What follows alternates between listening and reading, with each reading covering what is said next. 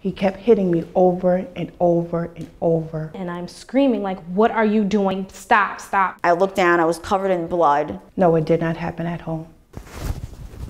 It happened at work on Rikers Island. People don't understand to go in every day and wonder, am I going to make it home to my family safely? Somebody could die. I feel it coming. Mayor de Blasio, protect those who protect New York City. Protect correction officers.